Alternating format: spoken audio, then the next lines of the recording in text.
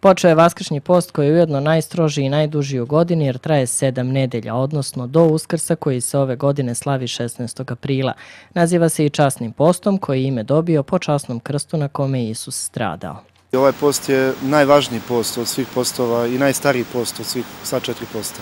Ovaj post e, potiče još od prvih vekova hrišćanstva, postepenim razvojem Svete četrdesetnice, e, kako se još e, naziva, je dobio ovu formu koju danas imamo. Ovo je post koji već crkva nekoliko nedelja pred ovaj post nas uvodi u njega, zato što je, kao što sam rekao, najvažniji i četiri nedelje već pred početak posta polako ulazimo u ovaj post. I to su one pripremne nedelje pred početak posta. Prema rečima sveštenika, post nas uči da se treba pokajati, ispovedati, razmisliti, olakšati svoju dušu i očistiti sebe.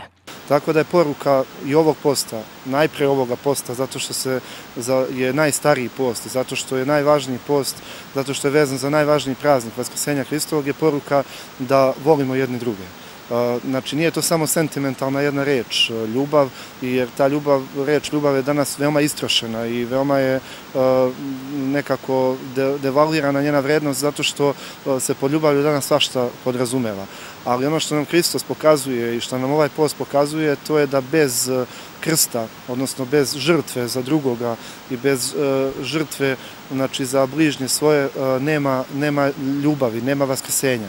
I zato Vaskrsu prethodi veliki petak, ali naša vera se završava sa vaskrsenjem. Znači, naša najvažnija poruka ovoga posta i, i ovog našeg najvećeg praznika je da pobeđuje život, da će život pobediti, da je Hristos vaskrsao, ali da isto tako vredi se žrtvovati za život, da se vredi žrtvovati drugoga i da u ovom postu, kao primer najveći u toku godine, damo sebi zapo, ovakvu zadatak da pokušamo koliko možemo da, da, da ako nemamo snage da prizovemo Boga u pomoć, da oprostimo jedni drugima, da se izmirimo, da promenimo svoje loše navike, da, da živimo uh, ljubavlju jedni prema drugima, najpre prema sebi, prema svojoj porodici i prema svojoj najbližoj zajednici.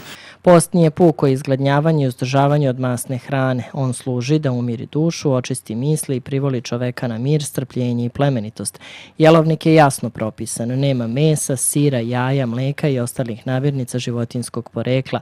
Takođe se ne konzumira alkohol strogo gledano po tipiku, da se postoje ponedeljka do petka na vodi, e, subotom i nedeljom na ulju i da se riba jede na blagovesti i na cveti. Znači, ali sve ovo, kažem, podrazumeva da imamo jedan lični odnos sa svojim e, sveštenikom, parohijskim, da sve svoje nedoumice i dileme e, e, znači, koje postoje u duhovnom životu e, rešavamo tako što ćemo se porazgovarati sa svojim sveštenikom i naravno u zavisnosti od stanja duhovnog toga koji želi da se pričesti od njegove, njegove okruženja u kome živi, od toga da li je neko trudnica ili je bolestan ili je dete ili je, ne može važiti isto pravilo za sve. Ali kažem sve to da, da bude u nekom ličnom odnosu između parohijanina, odnosno čoveka verujućeg i svog sveštenika. Sveštenici ukazuju da u našem narodu postoji običaj da se dolazi na kraj same liturgije i prisustvuju samo pričešću, što je, kako kažu, pogrešno.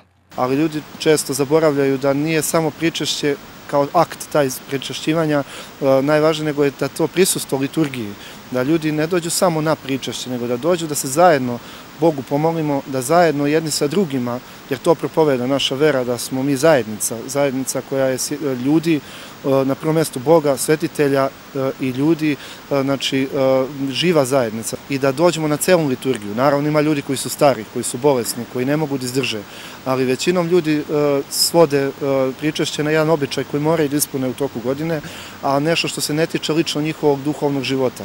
Znači da preispitamo svoje postupke pre pričešća, da vidimo da nismo slučajno u zavadi, da ne varamo jedni druge i u braku i, vam, i u nekom, nekim ljudskim odnosima, da nismo srebroljubivi, da ne iskorišćavamo ljude oko sebe, da, da ne mislimo zlo jedni drugima, znači da preispitavši sebe pristupimo svetom pričešću. Osim Vaskršnjeg posta, postoje još tri velika posta u toku godine. Božićni, apostolski i bogorodični. Medicina.